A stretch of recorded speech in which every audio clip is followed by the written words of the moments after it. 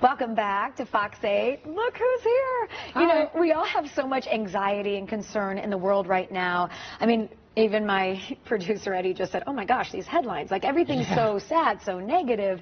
Um, and we look at this world right now. How do you respond to all this stuff that's happening? These disasters, and uh, really, we have a lot of tough questions. So we turn to the very best, the CEO of Szarka Financial, our dear friend Les Szarka, joining us. But there's a lot to worry about in the world today. We have Yeah. Afghanistan, the rise in COVID cases. Now wondering, are these vaccines even working against these new variants? The powerful hurricane, hurricanes, rising inflation rates. So how do we respond to this right now, especially with our investments? Is that something, do we, do we respond or do we just sit and let it kind of happen? Well, you, you bring up a good point because you know part of the problem is is that you're dealing with a lot of emotional issues right yeah, now. well, they're all. Yeah. And so, the, you know, I wrote a book on it a few years ago, uh, Money Brain, and you know, we talk about how your emotions can hijack your your logical thinking part of your brain on your investment side.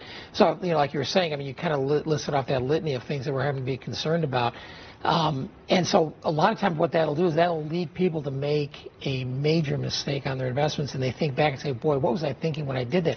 Well, you weren't thinking. Which is like pulling back, you think? Do you think people get concerned and then they just kind of stop being maybe aggressive or just stop investing whatsoever? Or Well, do you think that that's what That- a that's, one make? side of it. And then I was just talking to someone here on the staff. They're talking about, you know, with cryptocurrency, Yeah. you know, people making a ton of money and then jumping into something that, you know, they really later on regret because they realize, oh my God, I, you know, it didn't work out. So, Or you see people, other people making money on something, Correct. right? And say right. like, That's oh, the okay. greed factor. Yeah. Right. And so where we are right now is, you know, we, we really think, you know, this is the, the time where you have to be careful because there's a disconnect between what's happening in the world around us and what's happening in the stock market. And you have Mm-hmm. to remember, the stock market doesn't necessarily reflect what's going on. Mm-hmm. Okay, it, it, it's got its own mind. And right now, what's, it's being driven, you know, to, to a very, very large extent by all the money printing that's going on, which is just going to get worse. I mean, Washington's talking about doing another five trillion, which the market will, will say is great, but if you look at the underlying economy, the average person,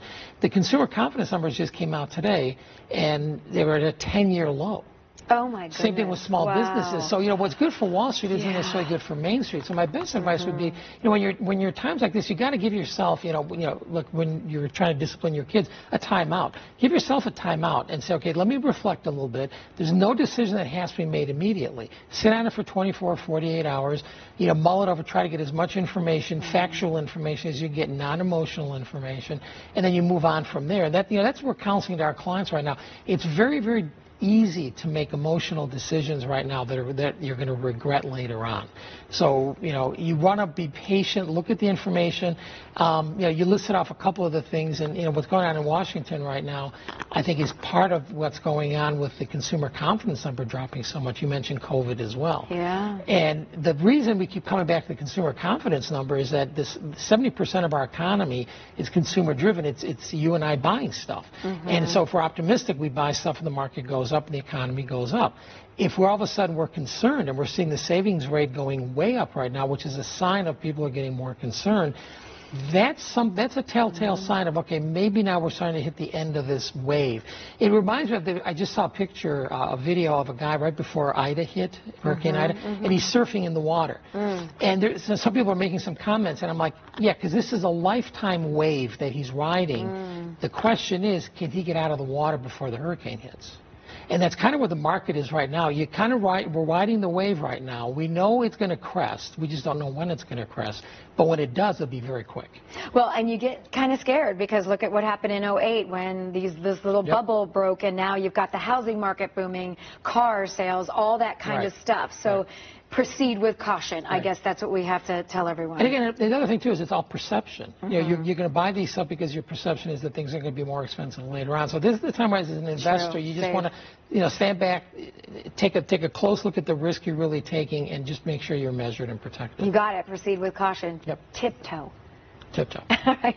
Well, if you have any financial questions, you need more information on Szarka Financial Services, please go to our website, fox8.com. Be sure you click Seen on TV. I will give Gabe a high five from you. Yes, please do.